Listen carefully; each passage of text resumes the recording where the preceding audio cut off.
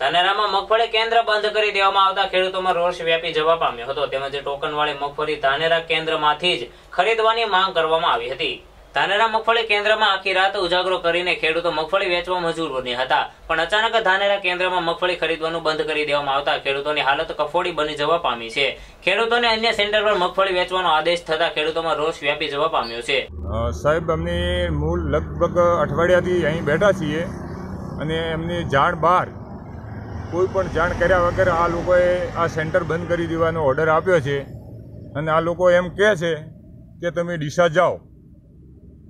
એટલે અમારે હવે ડીસા જવાનો નથી અમારો માલ અહીં જે ગોડાઉનમાં પડેલો છે, એ બધો અહીં નિકાલ કોઈ પણ રીતે અમને કરી આપે.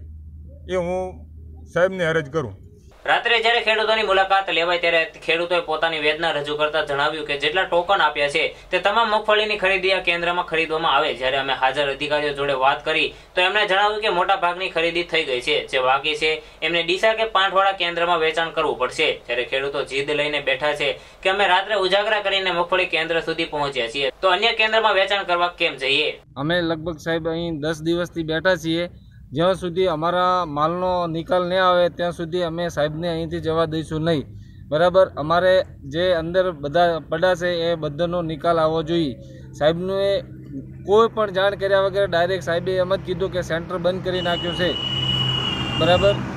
એટલે એ અમે જ્યાં સુધી અમારા માલનો નિકાલ નહીં આવે, ત્યાં સુધી સાહેબને અહીં ગાડી રોકેલી છે. સાહેબને અહીંથી જવા દેવામાં આવશે નહીં.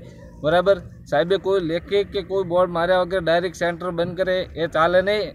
લગભગ તારીખ બાર છે સેન્ટર બંધ કરવાની. એના પહેલાં સેન્ટર બંધ થાય, એ તો ખરેખર અન્યાય જ છે ને એમ. અહીંયા મગફળી ખરીદી છેલ્લા ત્રણેક મહિનાથી ચાલે છે.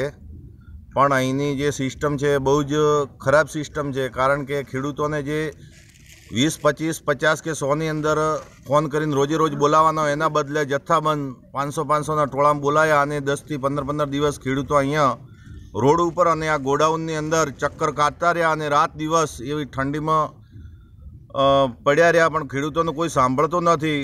અહીંયા મામલતદાર શ્રી નાયબ કલેક્ટર શ્રી અને ગોડાઉન ઉપર જે અહીંયા નાફેડના અધિકારીઓ છે અને જે પુરવઠાના અધિકારીઓ છે, આ લોકો કોઈ કશું જવાબ આપતા નથી અને ખેડૂતો બિચારા હેરાન થાય છે. છેલ્લા આઠ આઠ દિવસથી અહીંયા ઘણી વખત બારદાન મળતા નથી. આઠ આઠ દિવસ બારદાન ન મળે એટલે ખેડૂત બિચારો આઠ આઠ દિવસ અહીંયા લાઇનમાં ભૂખ્યો અને તરસ્યો પડ્યો રહે છે. સરકારમાં પણ ઉપર ઘણી બધી રજૂઆતો કરી, છતાં કોઈ રજૂઆતો સાંભળી નથી. અહીંયા નીચેથી લઈને ઉપર સુધી બધા જ પૈસાની વાતો કરે છે. ગુલાબી નોટ પકડાવો તો જ ખેડૂતોના તોલ થાય છે. બાકી ખેડૂતો દસ દિવસ થયા હોય કે પંદર દિવસ થયા હોય, પૈસા વગર કશું જ કરતા નથી અને પૂરેપૂરો ભ્રષ્ટાચાર ચાલે છે અને ખેડૂતો ખૂબ જ હેરાન થાય છે.